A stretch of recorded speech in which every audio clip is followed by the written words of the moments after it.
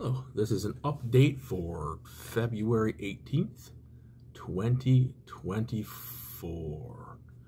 We got a housing voucher, which will allow us to, it's a, it's a housing kind of a subsidy sort of situation where we don't have to pay a portion of our rent. We're currently waiting to get some documents signed and returned to us by our landlords. They are going to look into it and make sure that it's not going to negatively impact them in any way, shape, or form. Um, and if that goes through, then we can send everything back into the uh, the county here, and we will have that all set up and ready to go for us to help us compensate some more for rent, which will be a necessity come the fall when I go back to school, so I don't have to have a job, which is going to be fantastic because I don't have to have a job as long as I'm, you know, 40 hours of school and study and whatnot. And I just don't see myself getting through this if I have to work. So we're uh, working on that, and it's super fantastic that we got this. Uh, the Lord just kind of keeps dropping stuff in place for us. So I, I feel like it's uh, everything's going to work out at this point in time. I also picked up one of these guys here off of Amazon for like $15. My kids have these, and they're really neat. They're uh, they call a digital writing tablet, and you can uh, just kind of scribble on them, draw on them, write on them. I know you can't see it very well.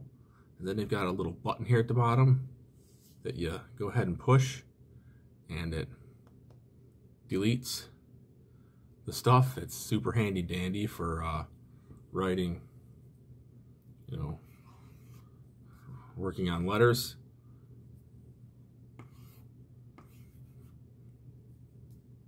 And uh, learning languages and their various alphabets. So this thing is going to come in super handy dandy, I'm sure. I've already been using it, and it's I, I've liked what I've gotten so far. Stay.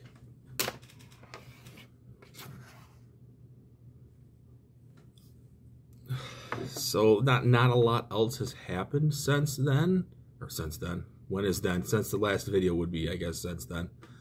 Um yeah so I I don't see any reason why we wouldn't get the uh the okay with the landlords. They're just they're concerned that if they go ahead and let this be done that they're going to be stuck being like section 8 housing and they don't want that and I don't expect them to do that. So honestly if that is what it means to them and they can't do it and we can't use it for this house then we're probably I don't know I don't know if we're going to actually look for somewhere else to get out of here. I mean, we can take a quick look, but we might just have to phone it in and go home if we can't stay here. But I, I don't see that happening. It's everything else is just kind of fallen into place so far. So I'm pretty certain that everything will work out with this as well. But yeah, so things have been going pretty well. The uh, the Napa job is going. Um, it is what it is. I'm I mean, it's not an exciting job, but it's not a terrible job.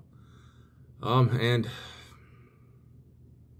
I really, really can't think of anything else. Nothing much more to update here. So, uh, God bless you all, and stay tuned as I will be releasing another video as soon as there is uh, more to talk about, especially about the housing voucher situation.